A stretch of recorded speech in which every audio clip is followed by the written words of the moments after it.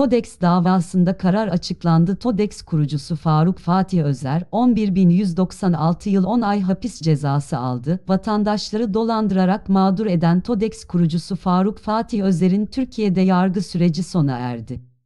TODEX davasında karar açıklandı. TODEX kurucusu Faruk Fatih Özer, örgüt kurma, yönetme ve örgüte üye olmak, nitelikli dolandırıcılık, mal varlığı değerlerini aklama suçlarından toplamda 11.190 yıl 6 ay hapis cezasına çarptırıldı. Öte yandan bir müşteki yönünden sanıklar Faruk Fatih Özer, Güven Özer ve Serap Özer hakkında bilişim sistemleri kullanmak suretiyle dolandırıcılık suçundan ayrı ayrı 6 yıl 4 ay 15 gün hapis ve 135 milyon lira adli para cezasına hükmedildi.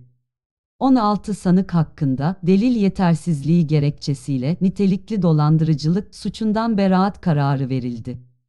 Mahkeme, hükümle birlikte 4 sanığın tahliyesine karar verdi.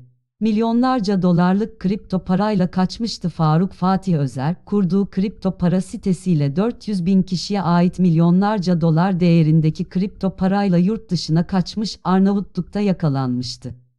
Özer, 20 Nisan Perşembe günü Arnavutluk'tan uçakla İstanbul'a getirilmişti. Bir önceki celse mütalasını veren Cumhuriyet Savcısı Faruk Fatih Özer hakkında suçtan kaynaklanan mal varlığı değerlerini aklama, nitelikli dolandırıcılık ve örgüt kurma ve yönetme suçlarından 40.562 yıl cezalandırılmasını istemişti.